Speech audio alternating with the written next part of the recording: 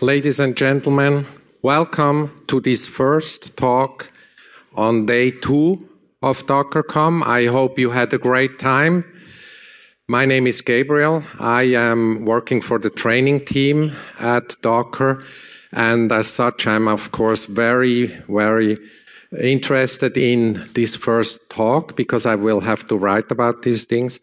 Um, with me, I have John Starks. He is the principal engineering lead at Microsoft, and he is going to talk about Linux container on Windows. Wow. Take it away. Thank you. Thanks. Uh, so first, just a little bit more about myself. Um, so I am uh, one of the container architects on the uh, in the Windows team at Microsoft. Uh, and I've been working for a little while now on um, Windows uh, containers, Windows Server containers, um, and the, the integration work in Docker and Containerd to make that happen. And um, recently I've been focusing a lot more on, on Linux because actually I'm the principal engineering lead for the Linux on Windows team. And uh, what we do is try to make sure that uh, Windows really is the, one of the best places for you to uh, develop Linux code, and even deploy Linux code. And so we work on uh, Linux VM technologies. We work on the uh, Windows subsystem for Linux, which allows you to run um, Linux binaries natively on uh, the Windows kernel without a VM at all. And of course, we, are continuing to do work in Docker, and now we've got this uh, this new Linux containers on Windows feature that we've we've added to the latest release of Windows, and uh, are actively integrated into Docker uh, as we speak. Um, but today I'm just going to focus on this latest thing, Linux containers on Windows. And you might say, well, you know, why do we, why are we building something new called this? Because we already have Linux containers on Windows. We already have Docker for Windows. Um, and Docker, Docker for Windows is great. Uh, it allows you to run, uh, you know, existing Linux containers it, um, on Windows for development purposes. You know, it creates a, a, a kind of a Linux VM uh, classic style uh, Linux VM manages it for you and gives you kind of the familiar set of Docker tools to be able to uh, create containers, do Docker build, all that kind of thing. Um, but there's a there's a couple limitations about Docker for Windows that doesn't really make it ideal. One is um, you can't use Linux containers and Windows containers at the same time. There's this there's this big mode switch where we we go from this Linux container mode to uh, the kind of native Windows container uh, functionality that's built into Windows. And the second issue is it's really just for development. And we wanted something that you can, if you have Windows, uh, Windows Server VM or Windows Server host, you can just run Linux containers directly on that machine without having to, um, you know, without having to manage your own separate Linux VM or something like that. And so, of course, you can just use a Linux VM yourself and, and lose that integration that Docker for Windows gives you. Um, and uh, you know, this is sort of Linux containers on Windows, right? But um, you know, again, it doesn't give you that single daemon experience of being able to single Docker daemon that can run Windows and Linux containers together. And then uh, we've gotten a lot of questions about whether we should support running Docker directly in the Windows subsystem for Linux, because hey, we've we've implemented the the Linux syscall ABI. Uh, Docker is a Linux application. Uh, why can't we just run Docker directly? Well, don't tell anybody, but actually you can with the latest Windows release, uh, with the latest insider builds, I should say. It is possible. Uh, you can go try out if you like, but there's a few limitations here. Uh, one is that you know WSL, Windows Subsystem for Linux, is really intended as, as kind of a, a mechanism to run Linux developer tools on Windows, to do scripting, uh, some basic automation, things like that but it's not really intended for use in production. So it doesn't solve that first problem, that first limitation of Docker for Windows, uh, that that you can't, you know, you can use it on your dev box, but you can't use it really on Windows Server. It's available on Windows Server for, again, automation, scripting, that kind of thing, but it's not appropriate for running. Uh, currently, not appropriate for running, you know, production web servers, things like that. Um, the second problem we have is that, although you know, we, we've put a lot of love into WSL, and I, I spent all last week working on getting like the latest, or getting some additional um, flags to the clone syscall working. So I, you know, I, I love it. I love working on it. but um, it has some uh, rough edges in some of the areas that uh, really need to be pretty polished for Docker. So the networking support, um, you know, around IP tables and things like that doesn't quite work out, and uh, some of our file system performance is uh, rather, you know, we've, we've got some performance issues to kind of work through before it's really fast enough for some of these uh, Docker workloads. So, so WSL is not really ready for for running Docker and, and, and that being a, a, really good experience. Uh, so that brings us to uh, LCOW, or Linux Containers on Windows, which is this latest project. And uh, before I go into the architecture, I think we should just see a quick demo of this. So what I have here is um, I'm running a, a, almost Docker master. There's one extra uh, PR that we haven't gotten merged yet, but this is basically Docker master, and this is the Windows 10 Fall Creators update that was released uh, yesterday. And in here, I've got uh, I've already loaded some images up, and immediately I think this is pretty cool. At the top here, we've got the the Microsoft Nano Server image. That's our our small Windows Server uh, base image. But then I've got three uh, Linux images, the same daemon. And I can uh, run these things. Um, uh, oops. So I can, you know, I can run both. There's no mode switches. There's nothing like that. So here's the Windows container running, and here's uh, let's run an Alpine image. And great, Windows containers, Linux containers.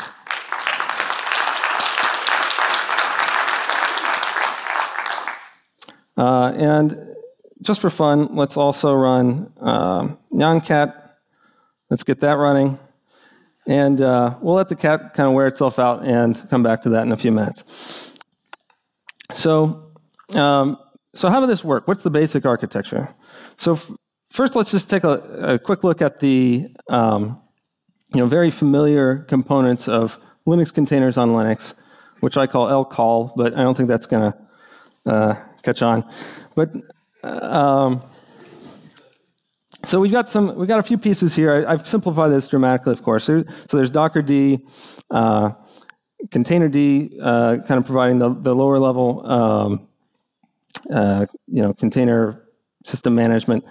And when you actually launch a container through Docker D and then through Container D, it launches a runC process, passes an OCI specification, runtime specification, and I, that's what actually creates that uh, process in this new set of Linux namespaces. And this is all running on a shared Linux kernel, so if you have multiple containers, they're all going to share the same kernel. You know, this is basic stuff. Uh, so when we came to do uh, LCOW, uh, Linux containers on Windows, we wanted to preserve as much of this architecture as we could and reuse all the same components, but just kind of extend it to work uh, on a Windows host. And so what we've done here is I've kind of exploded this out, and we've added uh, hardware virtualization. We've added VMs. So you can see here, uh, the green boxes are all the same, but these kind of gold colored boxes are the new components. And at the bottom, we have the, the Microsoft Windows hypervisor. There's the Windows kernel on the left. So this is the Windows host, essentially, uh, on the left side. And on the right, we have a Linux VM. So we've got this new uh, Windows kernel. On the left side, running as Windows services, we still have Docker D, we still have Container D. Um, but Container D is now calling into HCS, which is what we call, uh, which is the host compute service. This is a service in Windows um, that we developed initially for Windows containers, but it essentially manages running VMs and containers on the on the Microsoft uh, on the Windows container and Hyper-V stack. So uh, so if you've if you've seen talks about how uh, Windows containers are implemented, you'll HCS should be familiar. This is the same component that Docker-D or Container-D call into to run Windows containers. Um, now back on the on the Linux VM side, we have a component called GCS, which is Guest Compute Service. This is essentially just HCS's buddy over in the uh, in the Linux VM to be able to act as kind of a proxy for things that the HCS wants to do. So when you create a, when I created that Linux container uh, a few moments ago, what actually happened was that, um, I'm cheating a little bit. We don't actually have container D in this picture right now. That'll come in a, probably in a month or two. But uh, essentially, we're calling down into HCS. HCS is very quickly creating that Linux VM, booting it up, launching the GCS inside of it, and then sending a message across uh, kind of a VM transport to the GCS to launch run C and, and, launch the, the container as usual. So we're sending the same OCI runtime spec across. HCS and GCS actually don't even really know anything about that spec. It's just kind of a pass through. And so we're reusing all that, that uh, existing technology that had been developed for uh, standard Linux containers. Uh, the other thing I want to point out is I've only drawn one uh, container in this picture.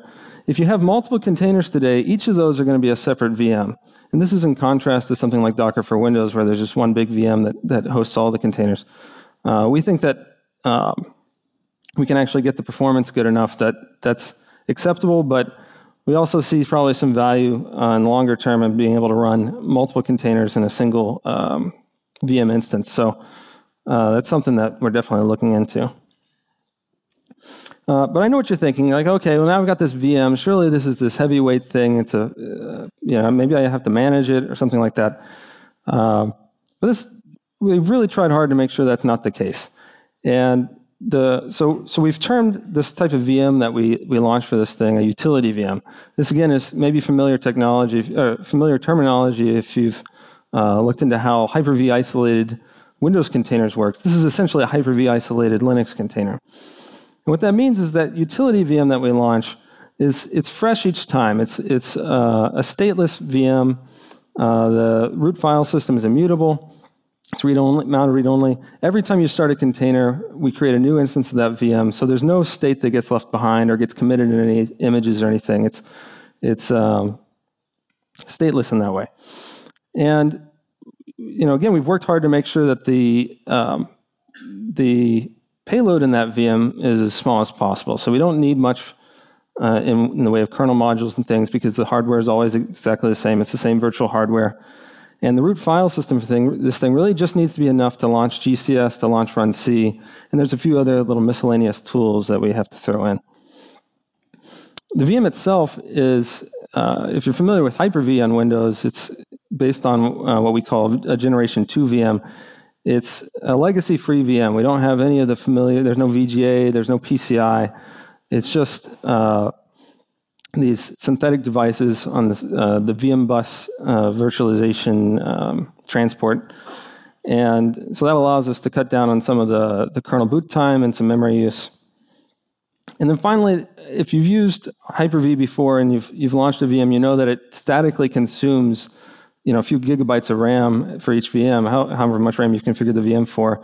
And if you go and try to, you know, open a bunch of browser tabs or, or play a game or something like that, uh, or open Visual Studio, this can be really frustrating because, you know, the, the VM doesn't participate in paging uh, decisions for the uh, that the the host memory manager might make.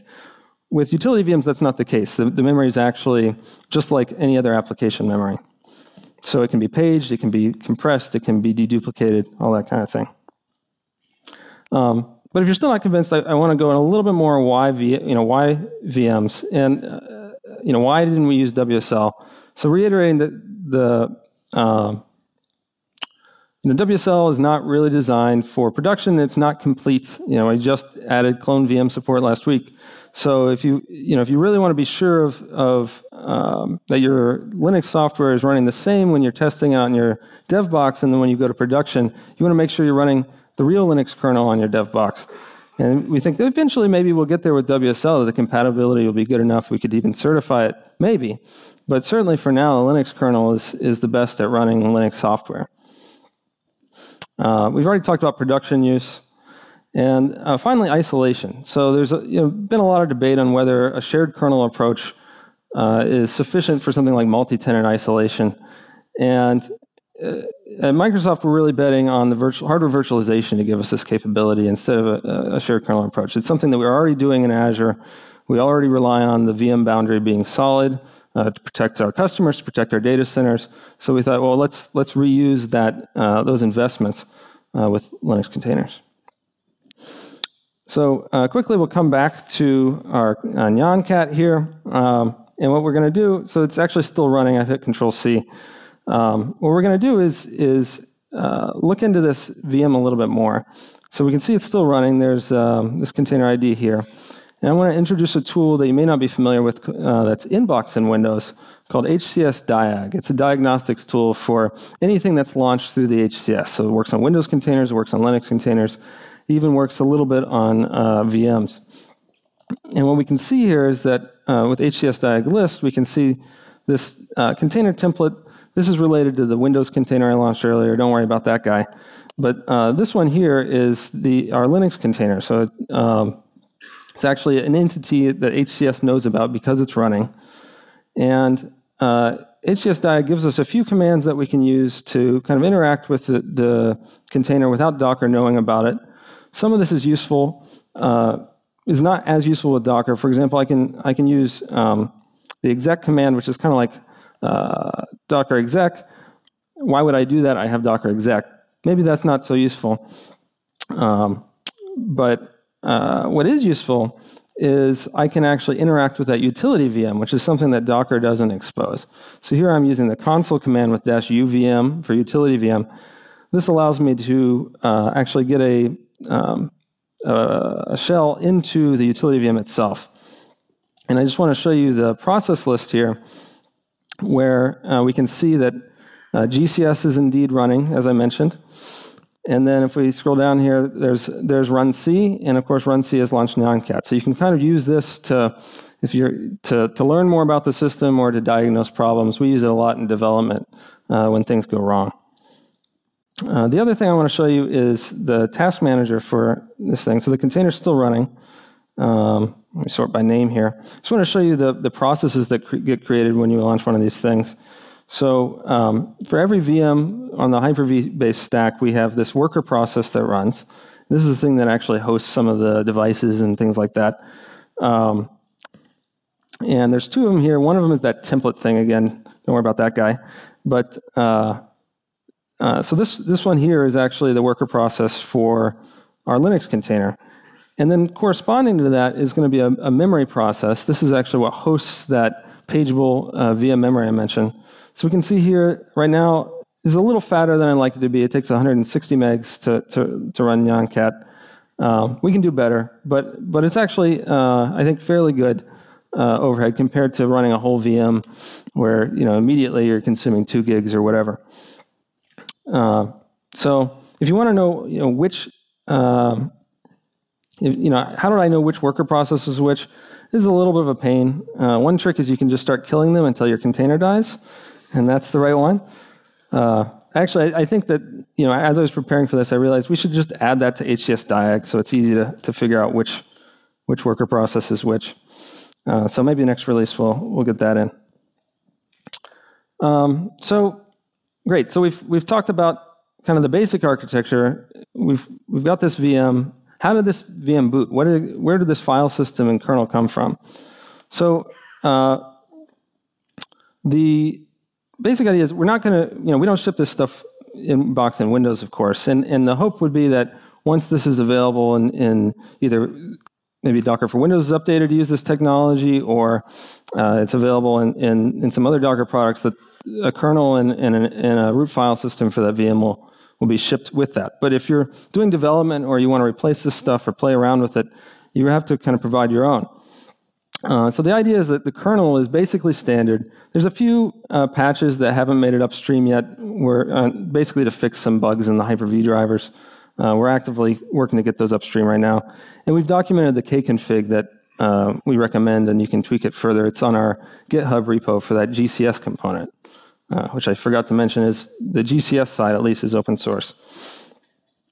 Um, and so, and then for the file system itself, we support either initrd, um, which is really convenient to build, but has but has to be decompressed and loaded into memory and things uh, during boot. Or you can just give us a file system image, and we can actually use that directly. Um, but it's a little more, a little less convenient to construct. Uh, that file system image, as I mentioned, just contains a minimal init process, GCS, run C tools, uh, some basic tools. And if you've if you watched uh, Rolf's talk yesterday on LinuxKit, you know that well this is this is basically what LinuxKit was made for is constructing these images in this way. So this is the, the definitely the best way to construct these. Use LinuxKit. If you haven't seen the talk, check it out. Um, should be available uh, once they release all the talks. Um, so uh, definitely the easiest way to go. As far as booting this thing, uh, we do use a UEFI firmware. Uh, you know, if you compare to something like QEMU that can boot a Linux kernel directly, we actually go through the firmware first. Um, there's a little performance trade-off there. Maybe that's something we'll improve. Um, but essentially, this this initRD and the kernel are just sitting in the host file system. We we load them into address space, and off you go. We don't use grub. We just use the EFI stub loader from the Linux kernel. Um, and one thing that's kind of disappointing about this is that because we're loading a kernel and it gets decompressed, we can't actually share the memory for multiple VM instances. So, so each, each VM has its own copy of, of the kernel in memory. Uh, so this is something I, you know, I'd love to improve. It looks to me like the, the Linux kernel on AMD 64 doesn't actually support an execute in place mode yet, but ARM, on ARM it does. So if anyone wants to come up and talk about that afterwards, I'd, I'd love to, to get some thoughts on, on if that's something we could improve on. Um, so kind of rushed through that because I wanted to get to um, I/O. So so great, we can we can boot this uh, VM. We we know what we're running inside of it, but what about the two kind of tricky parts about containers: the networking and the storage? How how do we get those into the container seamlessly and allow you to you know use um, volumes and, and and network options and all sorts of things in a way that makes sense? Uh, well, the good news for networking is that it's pretty straightforward. Uh, you know, if you look at a uh, standard Linux or shared kernel-based uh, Windows container, it basically works by creating a, some kind of virtual uh, network adapter uh, on the host and assigning it into a network namespace. And you know, all the interesting parts of the networking really are happening on what is that on, on how that virtual adapter is hooked up to your host networks and, and things like that. So whether you're using bridging or overlays or whatever, all the interesting stuff is really happening in the host. So for extending this to VMs, it's pretty straightforward. We just, instead of a virtual NIC that pops up on the host, we just use standard uh, virtualized NIC over VM bus in our case to, to expose that same network endpoint to, um, to the VM. And then once it's there, GCS can move that NIC into the network namespace uh, for the container, for the appropriate container. And it actually leaves the utility VM itself without any networking um, in kind of the initial namespace, the, the root, I guess root namespace, uh, which is great because you don't want this utility VM to appear on your network. You don't want it to have to worry about an additional attack point in uh, on your server or anything like that. So the utility VM can't accidentally uh, you know, interfere with your containers networking or anything like that. Of course, one side effect of this is it, it, this only works on cases where you would have assigned a virtual network uh, adapter to a namespace. So if you if you were trying to to a new namespace for that container. So if you want to share that namespace with uh, with the host. If you want to share the host network namespace or you want to share a namespace between containers, that's obviously not going to work. We don't have a way to share the TCP stack between the host and a VM, especially a Windows host and a Linux VM. Um, and that's probably another good use case for if, you know if we could support multiple containers in a single VM, at least then we could share the network namespace there. Um, so that, that's kind of we think the best we can do. Uh, but if networking is easy, then storage is, is much trickier. There are a lot more questions about the right way to implement storage. And uh, the reason for this is that storage in VMs is presents a few challenges. There's, you know, with with standard containers, uh, with shared kernel containers, you can you essentially just need to get if you want storage to be available to a container, you just need to get it onto the host somehow, get the host file system mounted, and we can use bind mounts or whatever to attach that storage into the into the container. But with a VM, uh, and with the VM, you can do that too. You can use something like SMB or uh, NFS or Plan 9, some kind of network file system to expose any file system that's on the host into a container, uh, into a VM, and then thus into a container, right? But this file-based approach has downsides. Um, the every file system operation that has to go to the host means extra latency for that operation, right? If, if with with a shared kernel approach, it's just uh, every file, every stat open, whatever, is just a syscall away. But if suddenly we have to go across the VM boundary, then uh, you know it's a full VM exit and you know very expensive transition. So it's much more expensive than a syscall. And then also the the kind of the network file systems in Linux or in Windows weren't really designed for this really low latency goal that we have. I think um, you know they kind of expect network latencies, not syscall latencies. So um, you know even if that the the physics of going across to the the host wasn't weren't what they were, I think there'd still be some challenges. So then you have to start playing games with, well, do I really need to go to the host for every operation? Can I cache some things in the guest? And suddenly you start to lose some of the flexibility of, of having, um, you know, the, the files available on the host anyway, because if you cache things in the guest and they get modified in the guest, um, and then you try to read them from the host, that cache data may not be available and, and vice versa. So, so, there's a lot of challenges around that. Um, and then so, so at that point you say, well, at, why am I exposing host files to the guest at all? Can I just use, expose kind of the raw storage primitives? Can I expose a block device to the guest? Um, and just use file system, use the guest file system to interpret that block device. And that's great. You get you get better performance, you get uh, compatibility, but now you definitely can't share files between the host and the guest at the same time because it's really uh, the guest has complete control over that block device. So there are these trade-offs. Um, you know, are you okay with the extra latency? Are you okay with paying for these coherency issues or having these coherency issues? Um, are you okay with the kind of weird configuration of exposing a block device? Um, it really depends. And so what we tried to do for this first version is come up with kind of a sane set of compromises and to see how far we can get. And so this is definitely an area that, that I'm looking for feedback on what works well, uh, where should we you know, give some extra options? Where should we just spend some time optimizing uh, to really make the, the storage solution um, you know, sufficient for all the different use cases out there? Uh, so, uh, and of course, I've been talking about storage generally, but we really can split this into two, uh, two sections. The first is, is the root file system for the container itself, uh, which of course in, in Docker, there's on Linux, there's a bunch of different graph drivers, there are a bunch of different options for implementing this. We've chosen just one strategy for the first release. And it's based on the observation that, at least with the root file system, you don't care too much about the host and the guest being able to access files concurrently.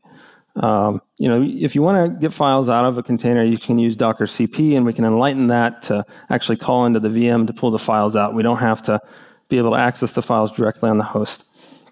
So what we came up with was kind of this block file hybrid, uh, is the way I think about it. And essentially, we've we uh, keep the layer concept of something like uh, AUFS or OverlayFS, but we expose these layers to the VM, uh, each as a separate um, persistent memory device that has an ext4 partition on it. And we for these read-only layers, we squeeze all the free space out of this, so this is minimally sized. And like I said, we expose this not as a traditional block device, but as a new persistent memory device, a PMEM device. And what that means is that this, the, the, if the guest wants to read from this device, instead of having to issue some kind of RPC call to the host to actually issue a, a device read, it just accesses uh, physical addresses. It, basically, it's kind of, we've basically memory mapped that host file into the physical address space of the guest. And the cool thing about this is that the Linux kernel has added support for uh, direct access or DAX mode for ext4 partitions, so that um, then when you go to memory map a file from that device into your process, it doesn't use the page cache. It doesn't do additional caching in the VM. It just maps those physical pages directly into the process. So if you're doing a read, it's not going to go through the cache. If you're doing mmap, there's no additional caching. So we're actually using the host's file cache uh, for, for all of these files, essentially. And the nice thing about this is uh, we do get um, memory sharing between multiple containers, even though we're using separate VMs for each container, if you're using the same image in multiple containers, we actually can share the, the cache and reduce overall memory footprint. Uh, then once we have all these layers, we just took the, the same approach that um, Docker defaults to, which is let's use the overlay file system and union these things together inside the VM. So we think that works pretty well. Um, the what works slightly less well, but still I think uh, works, is, is the volumes and bind mounts. So for here, we basically said, eh, by default, we can't take a block approach. We can't take a, an approach that, that loses cache coherency with the host, or well, loses coherency with the host. We really need the files to be immediately available in the host and the container. So we have to take a file-based approach, and we have to do one that doesn't have a lot of extra caching. So what we did is we implemented the, uh, we, we used the Plan 9 file system, which is a network file system that's been available uh, in the Linux kernel for a while. Um, and we've used the mode that it's actually a, kind of a variant of the Plan 9 file system at this point. It, it's designed specifically for the Linux VFS model, the, the, the, kind of protocol additions are. And we've implemented that over um, this uh, VM network transport called in, in, Linux is exposed through the address family vsock. On the host side, uh, we actually have a different address family for interacting with the same thing called AF Hyper-V. But it's essentially the same thing. It gives us a, a network, you know, a stream uh, socket uh, to communicate between the guest and the host, and we've implemented this file system over it. Um, and then we had the problem of, well, how do we actually map the uh, Linux file system semantics onto the Windows file system. Because now I'm mounting, you know, by default, if i have got a volume or a bind mount, I'm just going to take a, some piece of an NTFS file system and map it into the, to the VM. Well, the cool thing is we've already solved this problem once uh, in the Windows subsystem for Linux. We have the same problem there. You want to be able to access your Windows files from Linux tools. So we've shared code here. We, we, we take, use the same uh, mechanisms that we use in WSL to expose, uh, to, to decide what Linux metadata to expose, how to respond to Linux operations. And you know, if you've used WSL a lot, you know that this isn't perfect yet, and it's not perfect in LCOW either. But now, as WSL gets better, LCOW will get better, and vice versa. So we're pretty pretty proud that we could, you know, use those kind of bring these things two things together in that way, even though the architectures are, are, are pretty different otherwise. Um, and like I mentioned, by default, well, actually it's hard coded right now that we, we disable any kind of caching in the, in the Linux guest around um, metadata, um, especially so that um, essentially every file system operation is going to have to go to the host. And this gives you correct behavior all the time and I think what they what Docker's found with Docker for Mac is you know, they kind of had a similar problem where correct behavior is probably what you want most of the time, but it can be expensive. And so in Docker for Mac, they've implemented some options to allow you to weaken that coherency when you want to to get better performance, when you know that the host isn't going to be modifying the files at the same time. We didn't expose that yet, but architecturally that seems pretty straightforward. So that's definitely something I think we'll, we'll uh, be thinking about for probably early on to address some of the, the performance issues. Um, but we have other ideas as well, so we're going to keep thinking about this space and um, yeah, watch this space for more. So I'm going to end on a, a, a, demo here on, on the storage bits. And um, we're going to go back first to our, um, it's not working. There we go. Uh, we're going to go back to our Nyancat guy here. All right, there we go. Um, and we're just going to go back to the utility VM. I just wanted to show the mount table for this thing. So Nyancat is pretty sophisticated. It requires seven layers uh, to be implemented. And so you can see them all here. So each of these is um, one of these PMEM devices that I mentioned. You can see it's mounted read-only, uh, which makes sense. And here's that DAX option that tells ext4, no, no, don't use the page cache, just map these pages directly through. Um, now I did uh, leave out one detail, which is that here we have actually still a SCSI device. So the writable portion, the writable layer uh, for our container root file system is currently a, a, a classic block device. Uh, we haven't quite figured out how to get that working with a, a, PMEM device, but that's something that isn't as important anyway. You don't really need DAX, and you don't really need to avoid the page cache for the writable portion because that's not shared between containers anyway. And then here's that overlay mount where we've stitched together all these layers uh, into, into a single view. So that's great. And then let's, let's just show the volume stuff real quick. So the, um, da, da, da, all right. So essentially what I want to do is let's create a, uh,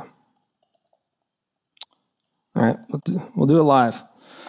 Uh, so let's create a uh, Linux container with a volume called foo. Uh, we're just going to run it in the background here.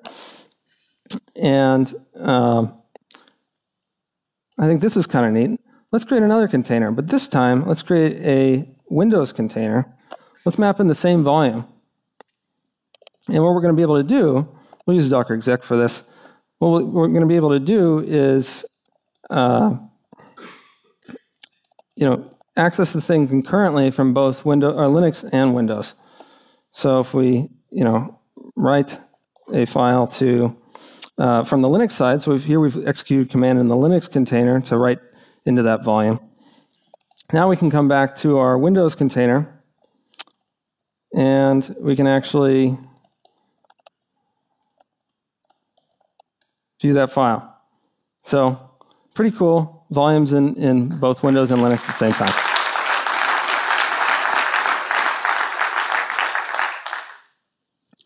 So with that, um, we can take some questions, but uh, I've got some more information here. I'll be tweeting out some of these links so you don't have to scramble to write them all down right now. You can follow me on uh, Twitter with Giga, at Gigastarks. Um, and you know, we'd love to hear your feedback and, and we'd love for you to contribute as well. Thanks very much. Thank you very much. If you have questions, we have microphones in the area, so please come to the microphone or raise your hand so I can come to you.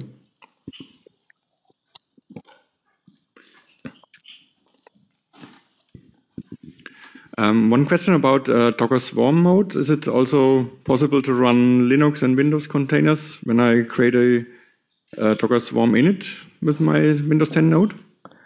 Uh, not yet. We haven't. Um, you know, there's some additional API changes in Docker to be able to expose this multi-platform mode, and I think that we'll want to make sure we get those completely merged before we kind of tackle the the swarm uh, issues. But that's definitely, I think, something be very interesting to be able to do.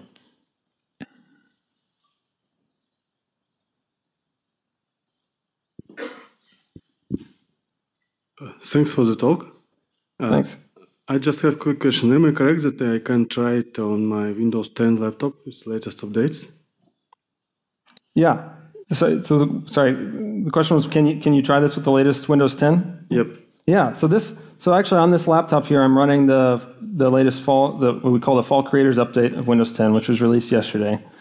Um, and so if you have the right um, version of the Docker daemon in the client, um, and you have Linux kernel and the initRD. If you have all, get all the pieces together, then yeah, absolutely, the platform support is there.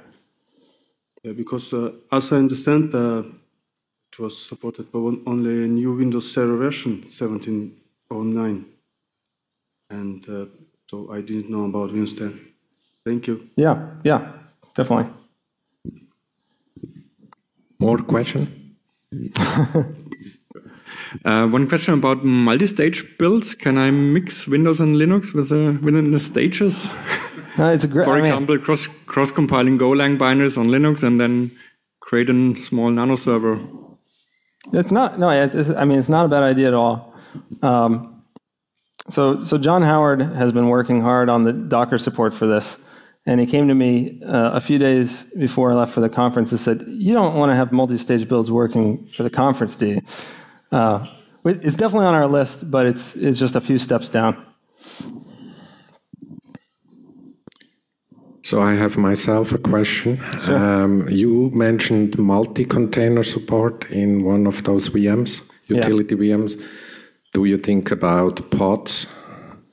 Yeah, I mean, pods? That's certainly the, one of the motivations for, um, you know, one of the key motivations for supporting the the multi-container uh, VMs because certainly the pause container, even if you didn't have anything else in your pod, just one container, you still need that pause container.